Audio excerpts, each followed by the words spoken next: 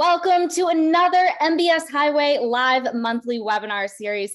I'm one of your hosts, Megan Anderson, and today we have a very special returning guest. We have Dr. Lacy Hunt. He's an internationally known and award winning economist, author, and public speaker. He's the executive vice president and chief economist at Hoisington Investment Management Company. And he's the author of two books and numerous articles in leading magazines periodicals, and scholarly journals like the Wall Street Journal and the New York Times. And today, he's going to share his thoughts with us on inflation, recession, and where he sees the markets heading. Join me in welcoming Dr. Lacy Hunt. Uh, what a great introduction. well, Lacy, I want to I want to add to that that uh, Lacy, I, I, cherish the fact that you're a great personal friend and mentor to me, and someone who has helped everyone here at MBS Highway with your wisdom on previous calls, getting us through that, tough COVID period where there was a lot of uncertainty and and really being the voice of reason for us. So we appreciate you more than you know. And you know, Lacy, uh, right before we started, you were mentioning that you were at the Fed with some of those legendary names. You know, the the mm-hmm. Arthur Burns, you're at the Fed with him. William McChesney Martin, you're at the Fed with him. So it's it, you really have a level of experience that is just unmatched. Besides being what I think you're the best bond fund manager on the planet. Uh, so so thank you for joining us. You know, uh, don't don't say that. don't mention what we do here because the SEC. I'm not I'm not soliciting business here. You're kind, too kind. Um, and speaking of which, you know what we're going to do? We're going to show because you know you you are you you do have a presentation for us, but we want to make sure that the first thing we do is we put up this disclaimer, right, Lacy? So right, right. So for That's everyone to see. This is well, the result of the new new directive from the SEC that came in early November. And uh, this, I'm not soliciting business. This is not advertising. If this is an educational event. There you go. Okay, now that we got that out of the way. so, Lacy, um, where do we begin? We've got some slides that I know that you wanted to. add. Any opening remarks? Should we go to the slides? We're going to have questions for you about the Fed, the direction of, of uh, long rates. Um, what are some of those headwinds? We're going to get to all those questions. What did you think of the last jobs report? Uh, inflation. What do you, we're going to get to that, but I know you've got in a recession. Yeah, we in a recession. Yeah, all those things. um, but but first, Lacy, would you want to have some opening remarks or go right to the slides? I I want to uh, I want to proceed here in a way I, I've sort of outlined it. I think I hope people will, will find some value in it. And we're going to get to all your questions because your questions are the same ones I'm trying to answer. so so here here we go. So let's go to slide one here, Lacy, and uh, we're we're going to uh, let me just get this up here. Talk, well, what the heck? Sorry, Lacy. It's a little bit touchy on this. I want to do a little Volckernomics to start. Um, um, Volcker, uh, as we all recognize, is probably our greatest Federal Reserve chairman by far. Uh, but he was also an outstanding economist and he had a, a great strategic view of the world.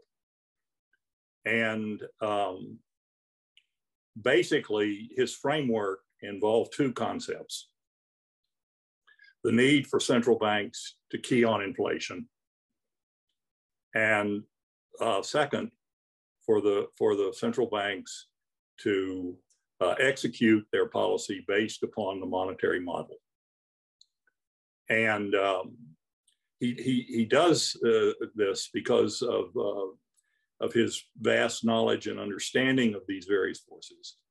And in spite of the fact that he is well aware that the monetary model in the simplest version is not correct. Um, but that doesn't mean it should be thrown out. It just means that we have to take into consideration um, the, what the Fed can do with regard to monetary change and what the private economy can do. And that, that of course, is the velocity of money. And so I'm going to look at both of those factors because they are very critical uh, to understand. Uh, to start with, I'm going to read uh, just a few brief passages uh, from Paul's book, which was uh, published uh, in 2018, just shortly before he died. So it was his final word. And in, in paragraph one, uh, he says a relationship between money and the price level is one of the oldest propositions in economics. And he goes on to tell you that he, he's aware how it developed from the work from Hume. Uh, and he then immediately says that um, that Friedman's model, which became very successful when he was chairman of the Fed, uh, was overly simple. He makes that very clear. Um, that model is that inflation is always and everywhere a monetary phenomenon.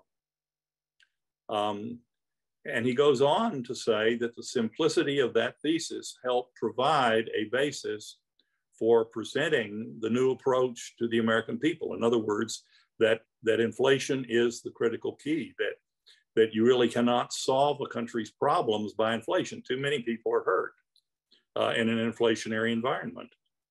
Um, and then in paragraph three, he said that because of the understanding of this basic monetary model, uh, that we could not back away from the emphasis of restraining the growth in money supply with, without damaging our credibility that once lost would be hard to restore. And he used some nautical terms there.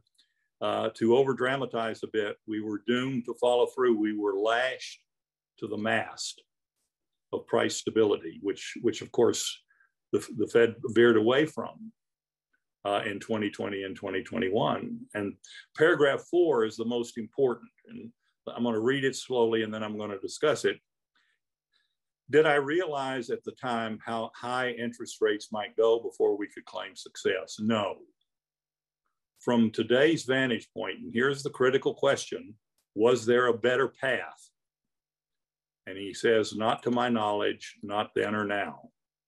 And, and earlier in the book, Volcker uh, writes that Friedman, that he was aware that Friedman had recanted on the underlying assumption of the inflation and, and money because that the velocity is not stable. Um, but he still goes on to say, even with that knowledge, that, that the velocity pattern had changed, it's still the best model. So let's, let's go to page two and contrast uh, Volcker um, with, with the current Fed chairman on these two critical uh, issues, inflation and the role of money. Um, here on inflation, um, Powell seems to be clearly aligned uh, with Volcker, and I want to read this brief passage in paragraph two from Jackson Hole, which, which is, is probably the most important lesson that I'm going to give you today. He says, without price stability, the economy does not work for anyone. Without price stability, we will not achieve a sustained period of strong labor market conditions that benefit all. The burdens of inflation fall heaviest on those who are least able to bear them.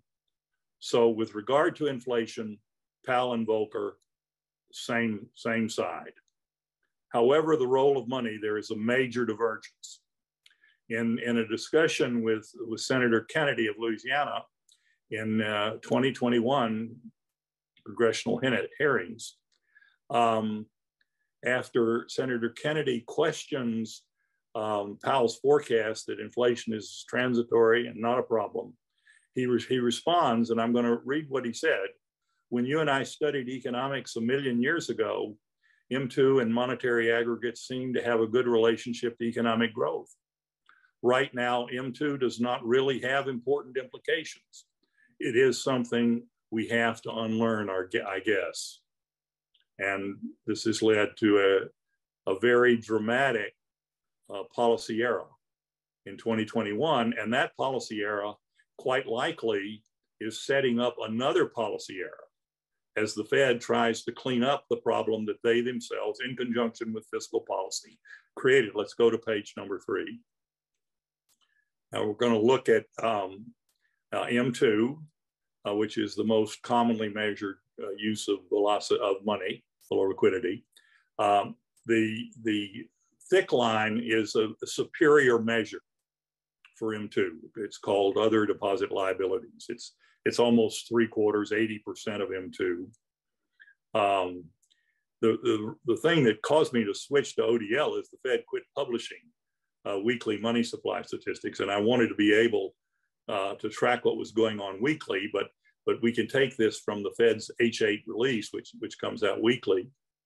Um, the difference between ODL and M2 is that M2 includes currency and money market um, mutual fund deposits uh, or shares. Um, but, but really, a currency is clearly a medium of exchange and store of value unit of account, but it, it's not a universal medium of exchange or store of value. Currency is very difficult to store um, uh, uh, for a variety of reasons. More and more uh, businesses of all types are requiring either debit cards or credit cards. They, you, it's more, more difficult to use cash. And cash can't be used for large transactions. Storage is clearly a problem. Uh, money market mutual funds have some um, medium of exchange characteristics, but they only finance a small portion of the market.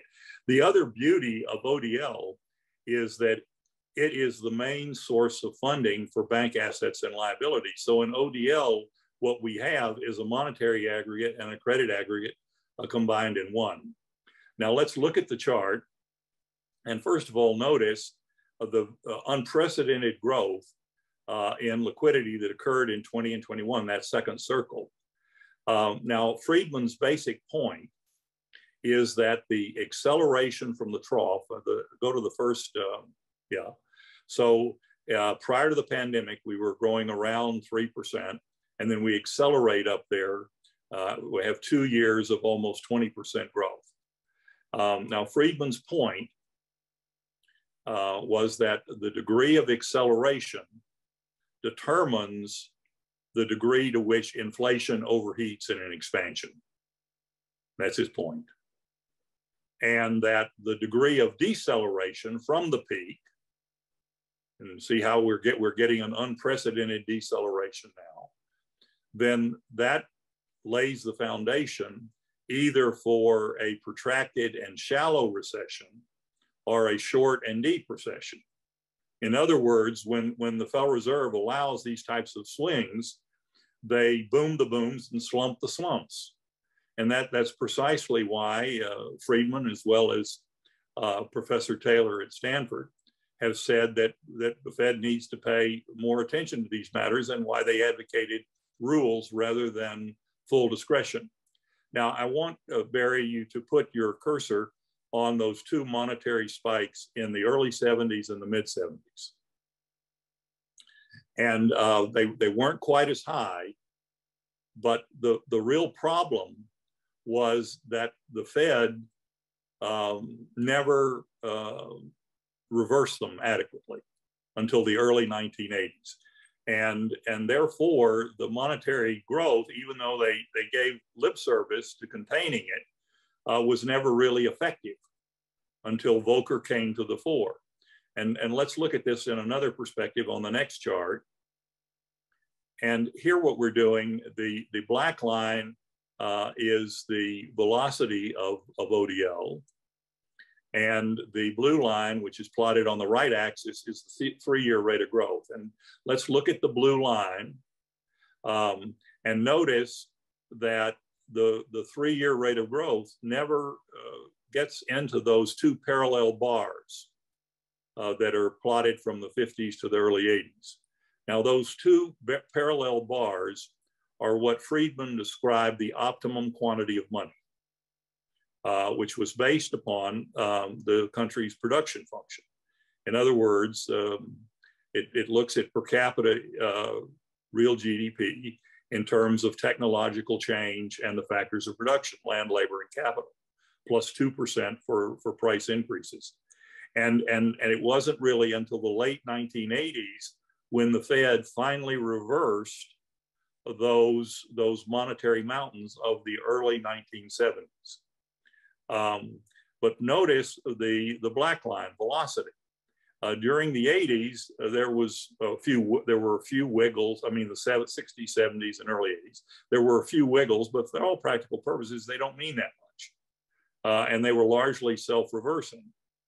Um, and so, when Volcker was chairman of the Fed, uh, the the fact that uh, he was using the simple monetary model, didn't matter because velocity was stable. Now let's go to the far right hand of the graph. And uh, you notice that, that we're projecting that um, the, the three-year rate of growth is going to be coming down very, very sharply. But notice what's happened to velocity. It's slumped very dramatically. It's, it's turned up uh, in the last quarter.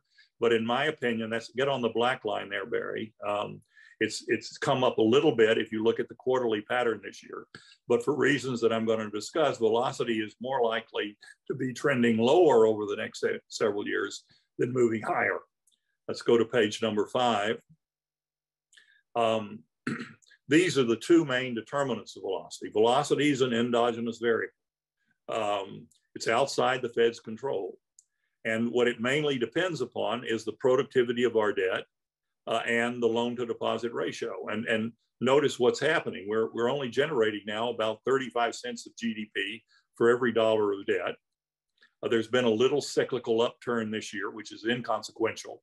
Uh, in my view, that will turn back down as the recession hits. And the same is true for the loan to deposit ratio, which is the inset chart. Uh, there are many other idiosyncratic factors uh, that influence velocity, too many to mention. But, but these are the two prime movers. And, and the upturn this year is, in my view, totally inconsequential and likely to be reversed going forward, which means that when you take into account what the Fed has done and what, what they're likely to do, uh, this, this liquidity mountain of 2020 and 2021 is, is, is largely going to be sufficiently erased uh, by the end of the first quarter or the early part of the second quarter. Let's go to the next chart. Uh, the, the, the critical line here is total reserves. Uh, before the, when the pandemic hit, uh, we had 1.7 trillion uh, in 2019, line number one. Uh, we went up to a peak of 3 point, uh, of 4.2 trillion in 2022. The, the, the, weekly peak was around 4.3 trillion. right now, we're around 3.1 trillion and if the Fed stays on target with their quantitative tightening uh, and also the Fed funds increases that were in their September dot plots, uh, uh, uh total reserves will be about a trillion dollars lower by late in the first quarter, early in the second quarter. And in my opinion, at that point in time, uh, money adjusted for velocity will be in the non-inflationary range. Whether inflation gets back to the Fed's target, then is, a little bit problematical, but the Fed will have done, given the fact that it's a leading uh, component of the economy, the Fed will have done what is necessary to restore the price stability. Let's go on uh, to the next chart. Um, this is very critical and uh, it, it, it, shows that, that in, inflation is really the key variable, that our people do not uh, do well in inflation. Um, the, uh, the black line is the survey, uh, the weekly survey established from the establishment survey, covers 77 million workers, it goes back to 65. Uh, the, the thick line is uh, as, as available with a lag, but it, it covers about 116 uh, million full-time salaried and uh, hourly workers. notice where we are. Um, we're negative uh, you know, in the three to four percent range. Uh, we've been coming up a little bit as the inflation rate uh, has come down. Uh, this is the worst of cost of living crisis since the early 1980s uh, by the broader series, uh, and the worst cost of living increase since 65 for the narrower series. we have 70 million retirees, 60 million of them historically have done very poorly in high inflation. And, and so basically what has happened to 180 million Americans is that they've experienced a 4% loss in their standard of living. Um, inflation just doesn't work for us. It doesn't work uh, for the credit markets, a longer term, doesn't work for the mortgage market, and it doesn't work for the majority of our people. It's a false notion uh, that we can uh, that we can do better uh, somehow in a high inflationary environment. Let's go to the next page. Um, this is the, the broadest measure of income, which includes everything else, salaries, wages, proprietor's income. The red line is the trend that was in place before the pandemic.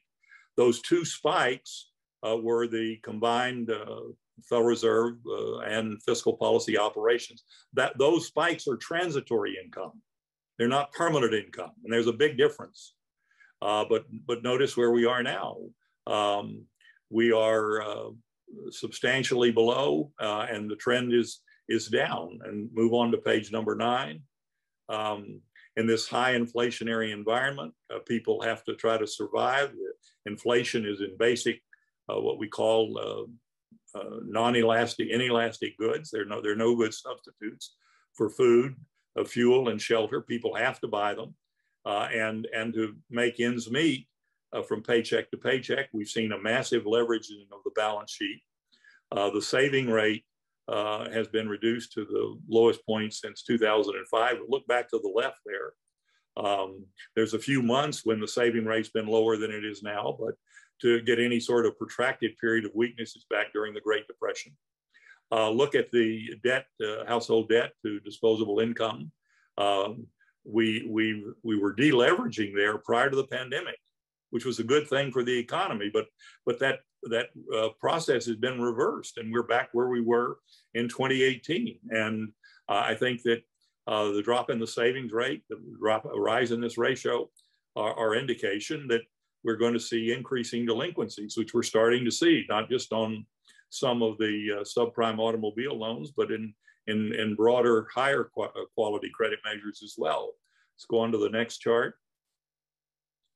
Uh, the, there are a lot of different uh, consumer sentiment measures, but, but in my opinion, Michigan has it right. Uh, look at the, the uh, line with the arrows there in the, up against the right-hand side where I've got a chart. Um, notice that when, when the transitory income increased during the pandemic, Michigan never recorded a rebound to pre-recessionary level, pre-pandemic levels. And that's because people are able to differentiate between permanent income and transitory income. And now there's been a collapse. And as you can see, we're at recessionary levels and we're below where we entered all of the post-war recessions going back to 53. just, just to clarify for everybody, permanent income, you got to raise, transitory income, you got a STEMI check. Well, and, and it's also, um, uh, Modigliani uh, used a different term, like life cycle. In other words, people make a, an assessment of not only what they're going to be able to earn from the paycheck and other sources uh, now, but in the future. And, and so Friedman's permanent income hypothesis and Modigliani's life cycle hypothesis are the same. And in my opinion, that's the way to look at it, Barry. Great question. Let's go on to page 11. Some pre-recessionary indicators. I'm not going to go through them, but I, I think that um, two is, is worth mentioning. We're seeing across the board declines in all type of freight. There's an old adage, they don't sell, they don't ship what they don't sell, and we're seeing pricing there weakening. Let's go on to page 12. Um, the manufacturing sector, which is your high multiplier, uh, it's only 12% of the economy. I realize that by employment, but on a value added basis, it's 20%. Um, look at the latest readings there. You can see it's at a recessionary reading, uh, a, major fall off. The level is even lower in Europe and Japan. Let's go on to the next chart. Uh, when, when the Fed uh, went on the money bench in 20 and 21, um, firms were pursuing, um, let's page, page 13 there, um, we're pursuing just in time. Now they've gone to just in case and there's been a, a, major acceleration in inventory growth, even more so in Europe. Let's move to page 14. So we were not equipped for the supply side shortages. Let's look at page 14. Uh, the inventory investment in the, the broadest measure has recovered. Uh, in fact, I think what we're going to soon find out is that the inventories are high and they're going to have to be liquidated. Let's move to page 15. Uh, here is uh, your critical leading indicator from the manufacturing sector, uh, the backlog of unfilled orders. Uh, it's, it's, it's, it's a good proxy for supply side disruptions. Uh, there's, there's no order backlog right now. We're not as low as we went during the pandemic, but we are back in the range of the uh, recession, the great financial crisis, and also the recession of 2000. Clearly a dramatic change. We had the supply side disruptions uh, but they are they're reversed. The the and the liquidity mountain is is in the process of being reversed. Let's go to the if next. I, may, if I may just add, because we're all concerned about inflation, so this would appear to me to be pretty much a deflationary indicator since uh, if you have a lot of if you have a lot of stuff that's on the shelves, you're going to have some discounting. Well said, Barry. Well said. Let's go to the next chart. Uh, here is your supplier deliveries, the length, the length, of time it takes before you have something delivered. Um, notice what happened there between the monetary surge and the supply side disruptions. We went up to unprecedented levels, uh, but we've reversed. Uh, we're we're uh, through the pandemic lows, uh, and uh, we're back at levels that we haven't seen very often. We did we saw them more distressed during the great financial crisis, but not as distressed uh, in the two previous recessions. Let's move on to page 17. Uh, another factor that's changing, um, the uh, non-petroleum uh, import prices surged, uh, but now they're declining.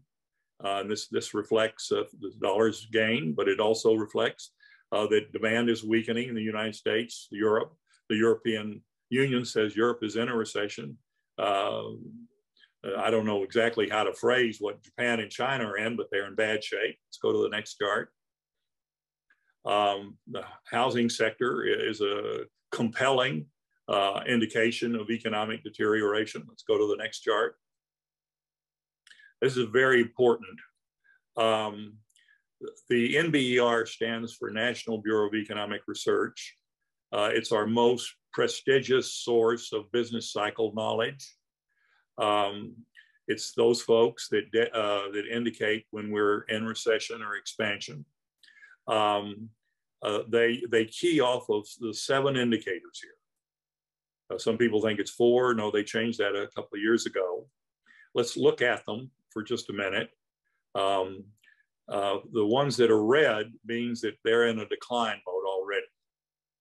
Uh, so four of the measures are declining, three are still rising, which means that we haven't tipped into recession, but the momentum is there. Um, let me uh, have you look at line one and then line five. This is uh, line one is your payroll establishment survey, which the, the, the bond markets key off of. But look at line five. Go to line five household employment. The National Bureau has studied each of the two series very extensively. And what they found is that it's not clear which is superior. So they give both of them equal weight.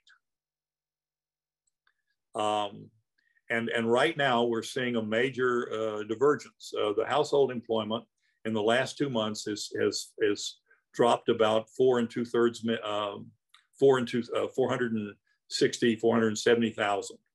Um, since uh, the spring, the line number one is up 2.7 million, but your household employment is only up 12, 10 or 12,000, a major divergence.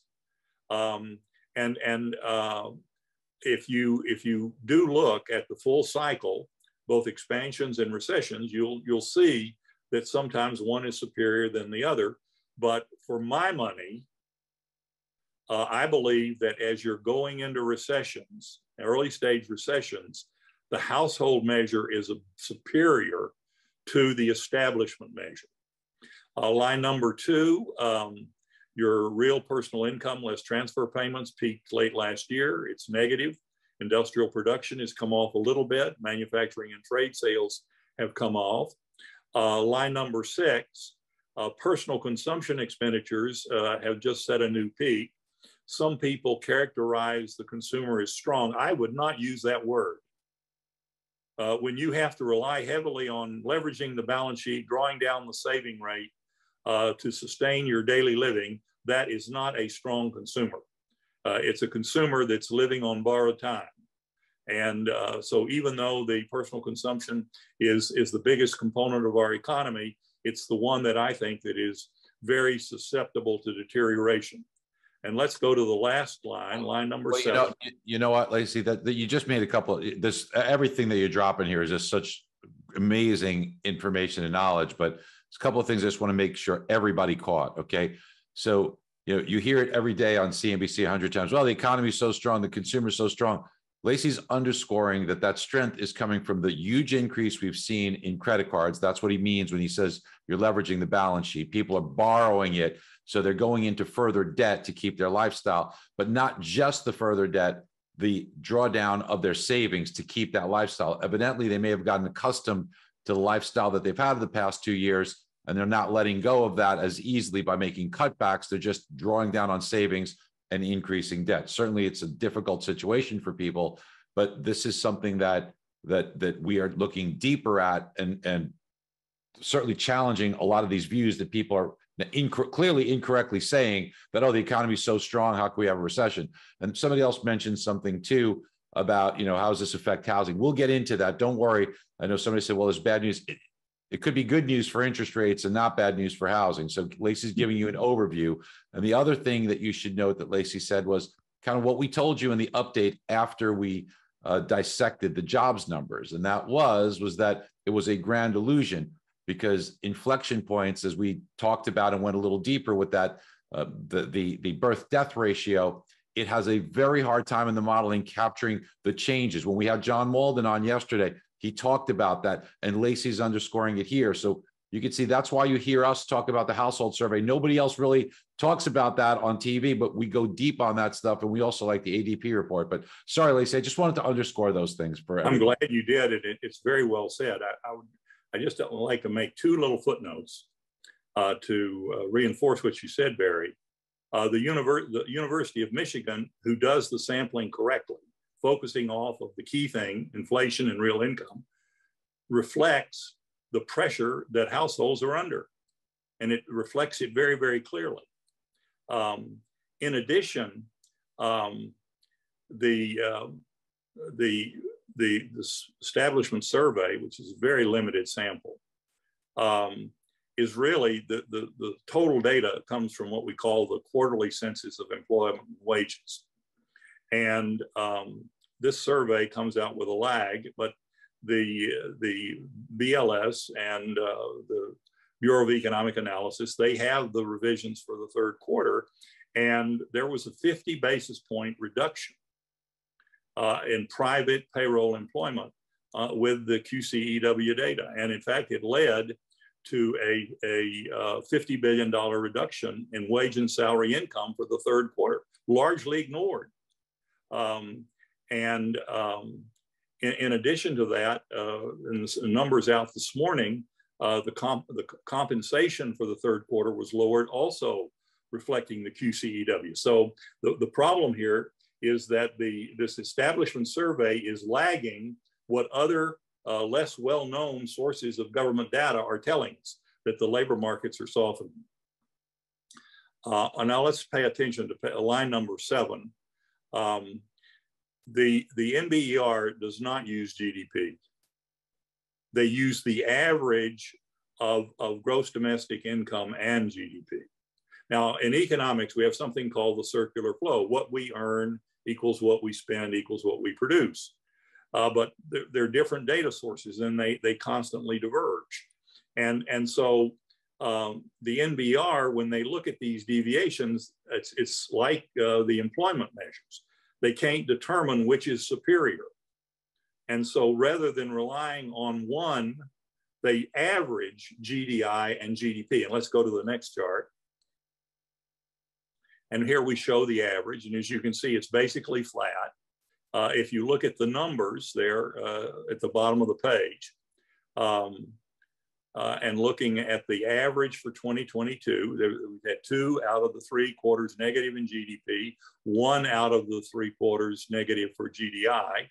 But for the year, we're only growing 17 basis points at a 0.17% annual rate. That's basically flat.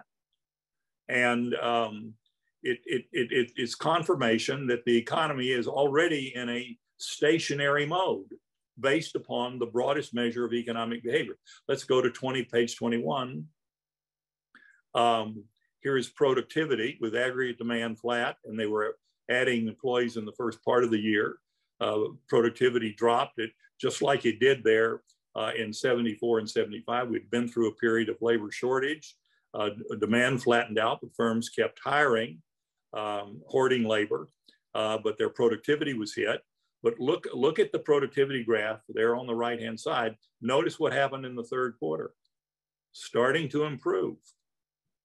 Well, that's a good thing for inflation, but it's also an indication that firms are starting to cut costs and in, increase efficiencies. And we're we're seeing signs of layoffs, even uh, and it's not just the high tech sector or the non-store retailers or transportation firms. It's beginning to spread um, in, to Wall Street and also to in the durable goods sector. But but that's a, a significant change. Let's go to the next uh, chart.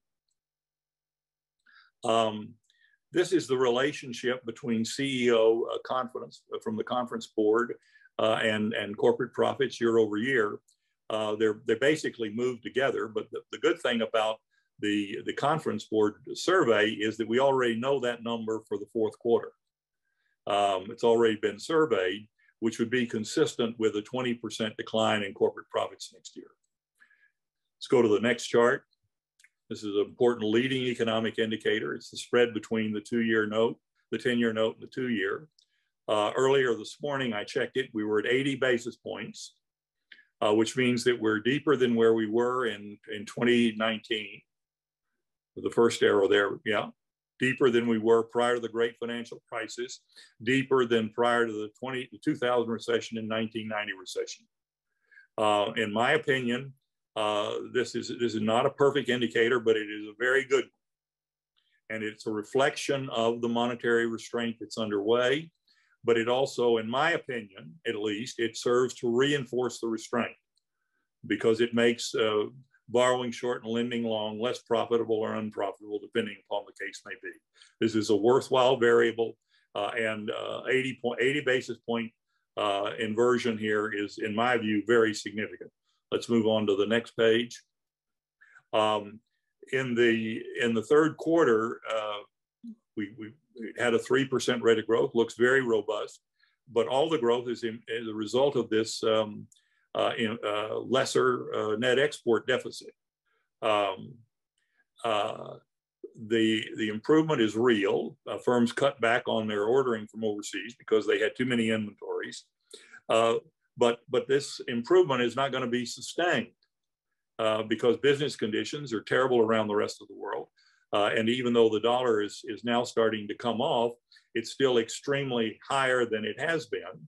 And, and so this improvement in the trade deficit, um, in my view, will be reversed. It doesn't mean it'll all be reversed this quarter or the next quarter, uh, but this big surge that we had here. Uh, the more important development for me is what's happening to our exports. Exports are one of our highest multiplier sectors. And we've now had seven consecutive monthly decline in real exports. And, and that's an indication of a problem for them. And also it's a problem for us. Let's go to the next chart. Uh, here's your trade weighted dollar. Um, the um, from the low point 10 years ago, we were up almost 45%, very substantial move. Notice though the little trend up there, the go right, yeah, you see that? Uh, in my opinion, that's confirmation that this market sees the same thing the commodities and the treasury market sees, that economic activity is weakening. And the, the, the dollar weakness in here is not going to alter the fundamental picture, but it, it, it, it is going to um, be consistent with um, with what is needed for the world in order to eventually have a recovery. Now, normally when the dollar rises, the inflation rate falls because, you know, um, we sell fewer goods overseas, we import less. Uh, the current environment has been very, very difficult because um, the Bank of Japan and the People's Bank of China, uh, their currencies were in terrible shape and they, they had to sell a lot of treasuries. Look at the uh, text there uh, in the right hand at the bottom of the page. Um, uh, from so far this year, the treasury holdings of the foreign sector have dropped about 450 billion, and in Asia alone, 452 billion.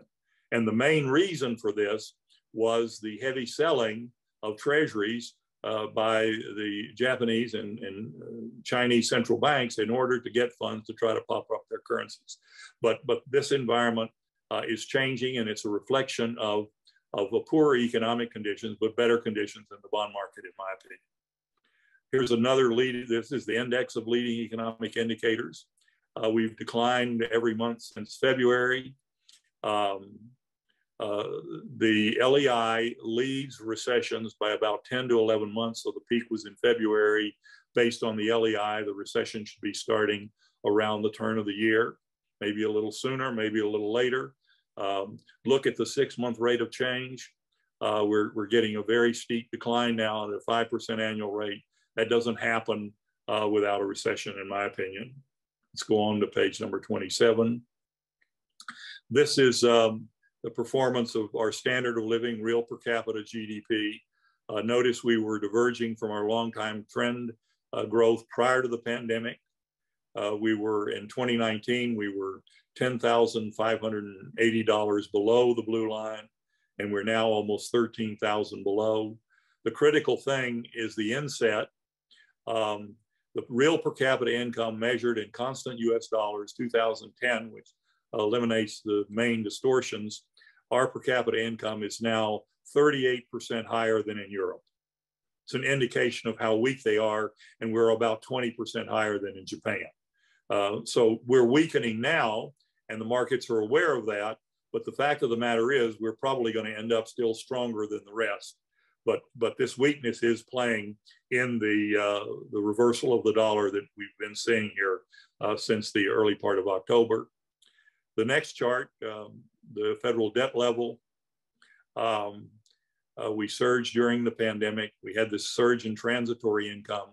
We've come off a little bit, but when the recession hits, this ratio goes up. Now, the reason that I put this in, in is it's very, very critical because uh, once the inflation is contained, in my view, we're going to be facing all of the problems of excessive over indebtedness and the debt overhang and the debt trap. And uh, I believe that the debt will then reassert itself uh, as a drag on both economic growth and inflation and will, will be more conducive to a low interest rate environment, not a high interest rate environment. Let's go on to the final chart. Uh, this is the long-term treasury rate uh, going back more than 100 years, 1870. Uh, I want to draw your attention to these, these dots. 1966, 1970, 1971, 1973, 1980. Um, and um, what these dots have in commonality is that we had an inflationary problem. Money started accelerating, it moved to higher prices. The Federal Reserve acted to contain the problem, but they didn't get the job done. And so what when when William Martin moved against the Vietnam War inflation in 1966, it wasn't sufficient. And it allowed what I would call, and hear me uh, on this point because I want to make it as clear as possible, what evolved was a money price wage spiral. In other words, the, the inflationary process went long enough that it, it, it infected the wage bargain. And uh, there was a repeat in 1970 by Martin, carried on by Burns. Uh, there was a inter, there was a combined monetary and fiscal policy operation in 71. It was widely hailed at the time, uh, but it sent inflation off. It led to that monetary surge.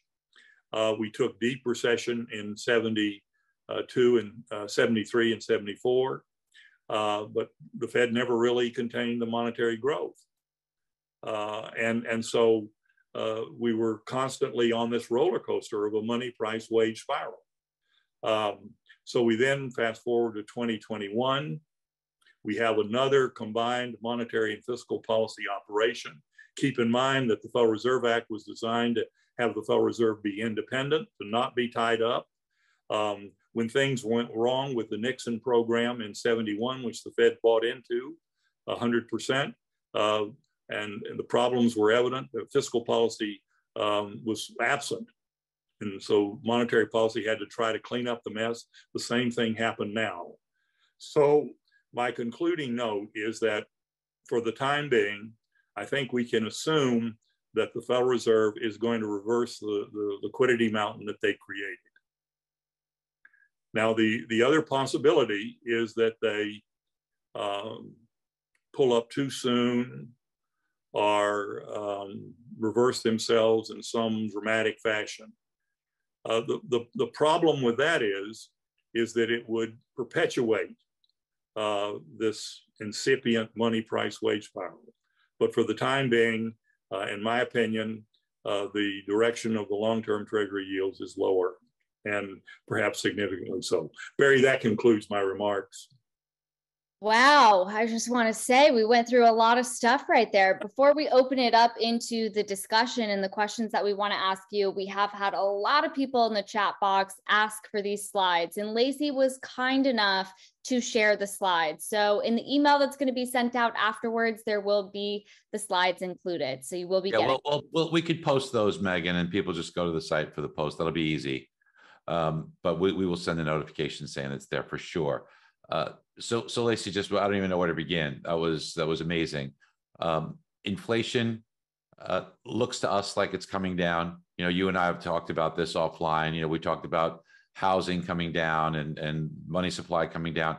Uh, what, what do you think about, um, the first quarter, first half of next year, as far as where we can expect somewhere of the inflation rate to be, let's say core CPI, take, take that one or, or whatever you prefer. And then what do you think that means for the 10-year treasury yield? Well, it, it, just to, to sort of recapsulize what I said, I, I think that the huge liquidity mountain will be contained. Um, if, if the Fed does their 96 billion per month of QT, and uh, they go through with the federal funds regime as they outlined in the September minutes, which would be 50 basis points in December and 25 in February. Um, in my opinion, the reserves will be sufficiently lower at that time, and um, the monetary damage will have been contained. Uh, the supply side is is healed, in my view. So really, the only only piece left is to to to bring liquidity into a um, into the necessary range. Um, so the we have to keep in mind that that that inflation lags the monetary change. Um, but I, I, think that um, with a, a, couple of, of possible breaks, um, the, the, the Fed could be back close to their target by the end of next year. They'll, they'll have sufficient restraint in the system um, by, by, by the end of the first quarter. And they will have stopped uh, raising the federal funds rate. And I, I think that um, the next major move, I don't want to pinpoint it, but it will be downward, not upward.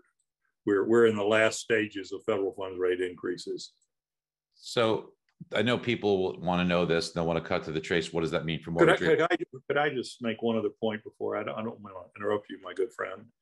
Um, I don't think that the, the federal funds increases here are going to deter the bond market, the long end of the treasury market. I think the yield curve will continue to steepen. Um, to, to me, the, these signs are fairly strong. And I, I don't survey, I don't call people and talk to them, but I think I think that that the evidence, as, as you've concluded and as I've concluded, is becoming increasingly clear that the economic prospects of the country are not good, and um, so uh, the process is in, uh, underway. Uh, at some point, the, the Fed will do a pivot. I don't consider raising the federal funds rate 50 basis points to be a non-pivot, even though it's a smaller increase. But the, the Fed is getting the job done, whether they um, pull up or reverse themselves too quickly and perpetuate uh, that the, the, wages becoming infected here. Um, that that may come into play, but that's not my focus for the time being. My focus is on the unfolding recessionary possibilities. So, a couple of things just that everyone should know. So, Lacy and I talked before this. He doesn't want to give an opinion on things like housing or on mortgage rates, but we can tell you this and and you know we've we've shown this in the updates. There's been a 35 year history that while it's not in lockstep by any stretch of the imagination, relationship between mortgage rates and the 10 year Treasury has been 175 to 200 basis point spread that has gotten abnormally large. We thought it would come down. The reason why it's gotten abnormally large is because the servicing value has been sucked out of mortgage backed security pricing because the experts, the smartest money in the world, believe the same thing that these loans will be refinanced and the servicing will not occur for years, but rather months. And therefore, there's very little servicing stream of revenue. So that's hurting the value of mortgages. Now, as the 10 year treasury comes down, which Lacy has told us he thinks that there's a good probability of, you know, we told you we thought we were getting to 3%. I know a lot of people didn't believe that one was four and a quarter, but here we are less than a month later, and you're looking at 340s on the 10 year. It's not going to be in one step, but we think 3%, maybe lower than 3% by first, second quarter is very likely, in our humble opinion. That means mortgage rates not only come down, but they accelerate faster as they have been. They've been coming down faster than the 10 year treasury because servicing value starts to get added back in. So we think that around 5% is right. And you should also know that Lacy's thinking about recession. Mortgage rates do very well during recessions. History shows that mortgage rates come down during these periods. The big key for us to remember is that, contrary to what the media says, the facts are that real estate does well during recessions as well. So there was only one time, and there was different reasons. There was demographic reasons for that. If you've heard me speak, you know that we break this down. But I want you to know that you know while we're talking about things that sound like okay, there's some struggles in the economy, and we get that. You will see it bounce, okay? But these struggles in the economy return us to a normal trend, which was down in rate, healthy for housing, things of that nature. So you pick the right business to be in. So sorry, Lacy, I just wanted to give kind of a, a quick recap. Now I've got a couple. Could of, I just could I just add one thing? As Yes. an economist, I consider housing to be a counter-cyclical indicator. There you go. There you go. Exactly what you said, but with the fancy words. I have a question on I have a question on recession. You know, a question that I get oftentimes, and it has to do with the two consecutive quarters of negative GDP that we've seen. And you know, you've heard that being a, a kind of Wall Street rule of thumb. So my question is: is has the NBER changed the goalpost a bit? Have they always averaged GDI and GDP to come up with their recession? I know it's backward looking, but many people saying we're already in a recession because we've seen those two consecutive quarters. I know you have said, you know, maybe towards the turn of the year, maybe before, maybe after. What are your thoughts on that? Well, first of all, um, contrary to popular opinion, economics is a science. It, it you make it's a social science, and over time, our knowledge increases. We we increase the technolo- technology, and we're better able. We have better statistical techniques. We have more complete data. We we have the perspective of more bright minds looking at a problem, um, and so the process goes forward. I mean, uh, let me just give you one little quick example. Um, when Adam Smith, the founder of economics, wrote The Wealth of Nations in 1776, he said price was determined by labor content. He didn't, didn't mention the utility of a guy item or the demand curve. That took William Stanley Jevons in 1870, and it wasn't until 1890 when Alfred Marshall put demand and supply together. Economics is an evolving science, so our information increases over time. And, and so and so our analytical capabilities increase. And what the NBER is saying is uh, in, by 2020, they had sufficient indication that the correct way to do it, or the best way of doing it, and keep in mind there are problems uh, because things don't work smoothly. We were dealing with two different sets of data here. The more prudent thing to do is to average GDI and GDP, and that's what they're doing. And, and they made their case, and I, for one, buy what they say. Well, thanks for explaining that.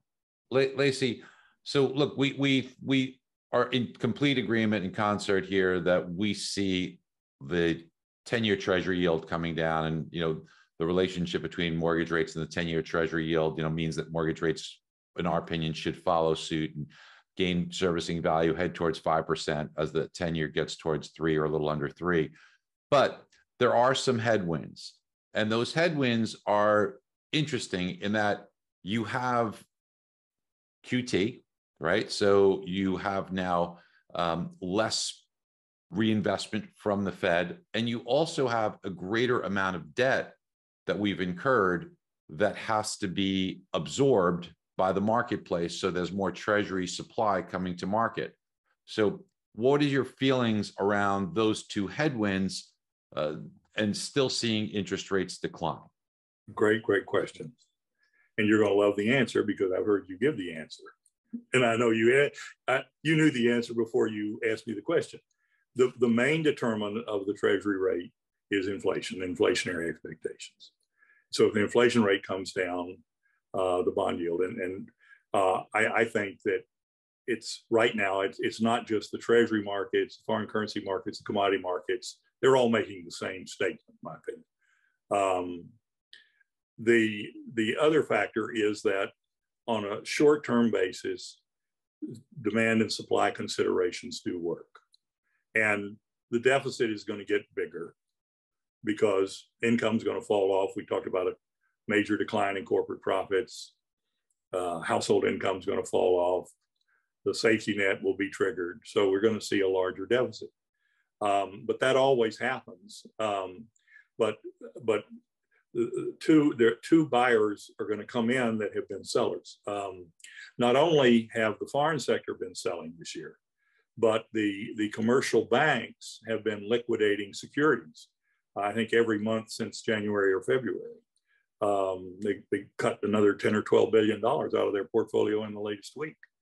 Um, uh, so uh, as uh, the the economy weakens, the loans will fall off. A lot of the a lot of the borrowing is because of distress, not because uh, that they're actively doing things that can help the economy. I think there's the corporate sector is having to borrow to firm up their cash flow and also to finance inventories. The household sector is borrowing to firm up their cash flow and meet their necessities. But, but we're going to see the loans fall off and the loan to deposit ratio is going to drop, which means that the banks uh, will go into governments. Now, it's very important to understand that um, loans have a different multiplier than investments in governments. Uh, loans have a high multiplier, uh, whereas uh, lending to the government by the banks uh, has a negative multiplier. The, there is no positive government expenditure multiplier. In fact, it's negative. Uh, and, and so as we tilt more to government financed activities, the, the overall multiplier will become weaker and weaker. And in my opinion, that will cause the velocity of money to decline, even though it's rising right now. Uh, and I, I, think that what we're going to see is that, that monetary policy is really asymmetric. Uh, it, it, can work when it's tightening, but when it, when it tries to move in the opposite direction, if they operate within the confines of what I would call lender of last resort role, uh, the, the role that was outlined for them under the Federal Reserve Acts, uh, monetary policy is going to be very feeble. Uh, there's an old expression that many people have heard, but they've forgotten. Um, you know, it, it, it's like pushing on a string. You can, you can bring a horse to the water, but you, you can't make him drink. And I think we're going to find that monetary policy will be far less effective unless, of course, they want to go off the charts again and, and take a high risk gamble uh, with some sort of coordinated fiscal monetary policy operation that sends monetary growth through the through the roof. And you know, I, I don't know whether uh, the Federal Reserve would would replay that mistake. I would hope that they would have learned, but it, it's clear that our people have not done well in inflation. They have been heavily damaged. Yeah, and all as you've written, Lacy, you know, in order to gain some jobs that would have normally come back anyway, maybe you accelerated those gains that probably would have come back. You put 180 million people in a worse off position. So you've written about that. So, um, you know, because I'm seeing some come come up here, so I'm going to try and address a couple of things quickly. Housing, housing is local, folks. We all know that. In addition to that, let's remember typically the fourth quarter is a slower time for housing anyway. So now you're seeing that so don't get too hung up over that. When rates drop, you're going to unleash a horde of buyers. And in, mar- in markets, most markets around the country have very tight inventory. So let's talk about that later on together. But here's the other thing that Lacy had just said, and I want to add to it as well. We're going to buy those because some of us are thinking about treasuries before that were offering 0.01%, which is no yield, to very safe investments of four and a half to maybe after December uh, 14th rate hike, you may be around 5% in a very safe short term investment. So we'll buy those. Also, those of us that see what Lacy is saying, smart money is looking at this and saying, wait a minute, I could get alpha, which means price appreciation and a yield on longer term instruments. Hold on a second. I can get three and a half percent yield, and the value of my bond will appreciate as yields drop, as inflation drops. We're going to be the ones, and others will see this as well and buy with both hands. And that should be enough to push yields lower. Hopefully, Lacy, you agree with that. Um, Absolutely. And I think that that's the the message of my educational discussion here this morning or this afternoon. So I'm learning. So um so, Barry, you've learned long ago. You and I have had we've had long, lengthy discussions. We've been good friends for almost two decades. Uh, well, Lacy, that, that, I feel like well, every, time I talk to you, I feel like I'm going, I'm, I'm learning so much. Humble you would ask me to come on with you. I really am. It means a lot to me. Thanks, Lacy. And the other thing, Lacy, is, and, and you know, I maybe you don't want to go deep on oil, but you know, oil has been coming down, and certainly that helps to um, aid us in inflation. But the administration said that they will start purchasing to replenish the tr- strategic petroleum reserve at a price of 70. And I've noticed that oil took a big dip even last night, and, and I, I haven't checked what it is, you know, lately. This today, meaning lately, but it was around 74 or so. Are we approaching potentially a floor in oil, and does that mean that we get less help on the way down from oil? And if China really starts to kind of open up, would we see oil come up and maybe that gives us a little inflationary headwinds? Okay, uh, this where we may have a little bit of tiny disagreement. Okay. Uh, when when when I look at inflation, I look at from a big macro picture. I, I don't try to build an inflation forecast for the ground up. I try to look at what's happening to uh, aggregate demand, which is heavily influenced by money and velocity, and then I like to look at the aggregate supply curve, which we had no experience with to speak of when the pandemic hit. Uh, it was largely stable. It was largely shifting outward, and it, it created problems for all of us. But uh, I, I, think that the basic macro picture is toward lower inflation, and how it works out among the individual sectors, uh, I can't tell you that. I, I don't know, but I, I, think that the macro picture is consistent with lower inflation. Right. And being a Texan, I hope the oil price doesn't decline too far. Great. I just wanted to ask maybe if, if Bill or Megan or Dan had anything here. We're right up on the top of the hour here, and I just wanted to see if you guys had anything you wanted to either ask Lacy or represent some of the thoughts from uh, from from our amazing, wonderful family of subscribers that are uh, that you know, Lacy, we had a well over a thousand people that uh, wanted to get on, but we only had a thousand people capacity. So uh, so you you had standing room only for you, Lacy. But uh, do you guys have any questions, Bill or Dan or Megan, before we wrap here? Sure, I have a question.